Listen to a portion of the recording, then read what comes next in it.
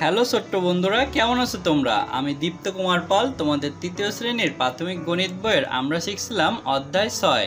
বন্ধুরা, এর আগের পর্বগুলোতে আমরা বাহাত্তর নম্বর পৃষ্ঠায় ছয় পয়েন্ট একে নিজে করি, এখানে এক থেকে চার পর্যন্ত অঙ্ক সমাধান করেছি।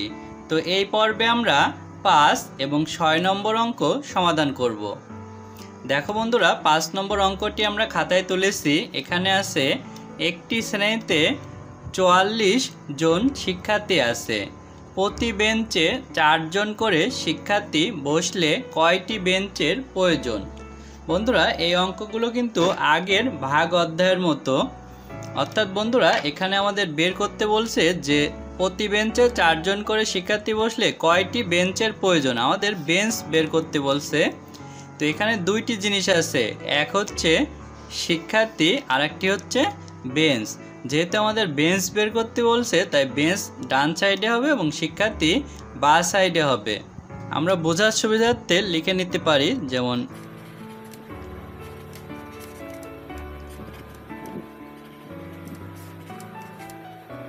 বন্ধুরা, আমরা পাঁচ নম্বর দিয়ে অঙ্কটি সমাধান করব। আমরা পাঁচ নম্বর দিয়ে লিখব চারজন শিক্ষার্থীর প্রয়োজন একটি বেঞ্চ। অর্থাৎ চারজন শিক্ষার্থী কিন্তু বন্ধুরা একটি বেঞ্চে বসতে পারে।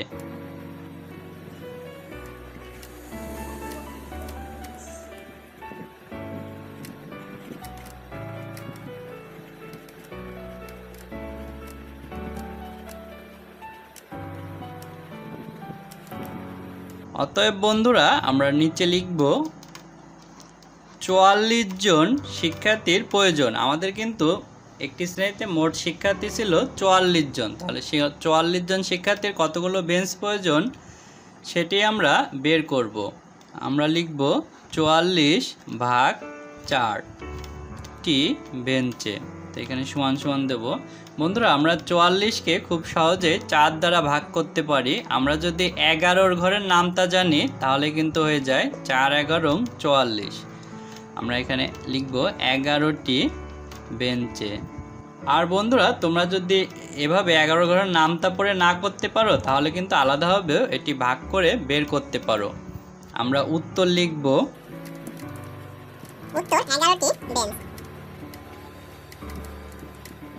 বন্ধুরা এখন আমরা ছয় নম্বর অঙ্কটি করব। দেখো বন্ধুরা ছয় নম্বর অঙ্কটি আমরা পড়ি। একটি প্যাকেটে বত্রিশটি লজেন্স আছে। এরূপ আটটি প্যাকেটে কতগুলো লজেন্স আছে? বন্ধুরা, এখানে কিন্তু আমাদের লজেন্স বের করতে বলছে, অর্থাৎ আটটি প্যাকেটে কতগুলো লজেন্স আছে। তো বন্ধুরা, এখানে দুইটা জিনিস আছে, একটি হচ্ছে প্যাকেট এবং আরেকটি হচ্ছে লজেন্স। তো বোঝার সুবিধার্থে আমরা লিখে নিতে পারি, প্রথমে লিখব প্যাকেট।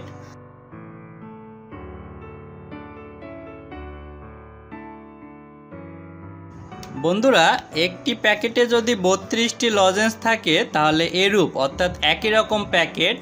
আটটি প্যাকেটে কিন্তু লজেন্স বেশি থাকবে, তাহলে এই অঙ্কটি কিন্তু গুণ অধ্যায়ে এরকম অঙ্ক আমরা করেছি, আর এই অঙ্কটি কিন্তু গুণ হবে। তাহলে বন্ধুরা, আমরা ছয় নম্বর দিয়ে লিখব, একটি প্যাকেটে লজেন্স আছে।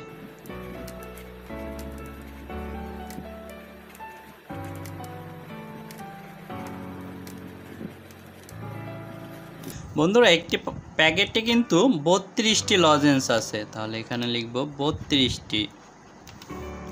আমাদের মোট প্যাকেট কয়টি? বন্ধুরা, মোট প্যাকেট হচ্ছে আটটি। তাহলে একের নিচে লিখব, অতএব আটটি প্যাকেটে লজেন্স আছে। একটি প্যাকেটে যদি বত্রিশটি লজেন্স থাকে, আটটি প্যাকেটে অবশ্যই বেশি লজেন্স থাকবে।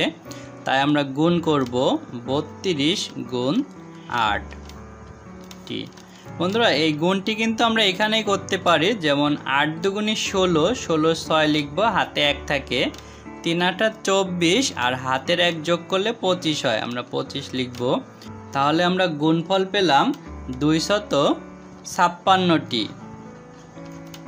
অর্থাৎ দুইশত ছাপ্পান্নটি লজেন্স, আমরা উত্তর লিখব। উত্তর দুইশত ছাপ্পান্নটি লজেন্স।